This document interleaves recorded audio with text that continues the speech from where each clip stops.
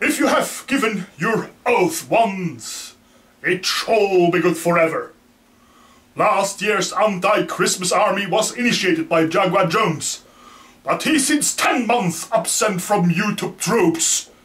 So I take this year's initiative to compile the 2011 anti-Christmas army.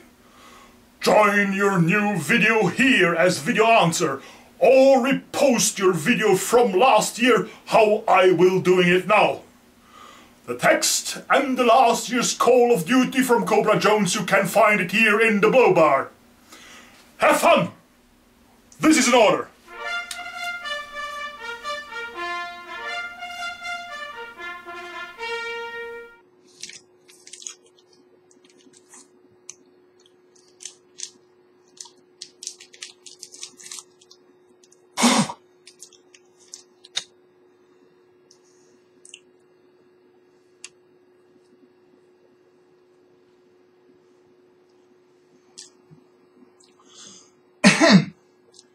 I, Goxster, do solemnly swear that I shall not rest until Christmas becomes grotesque bastardization of its original Christian meaning, ripe with pagan symbolism and secular rituals, and it's replaced by a finely veiled worship of capitalism in which soulless corporation inexplicably compel a mindless populace to part with an obscene portion of the personal wealth for a bunch of crap that no one really needs in the first place.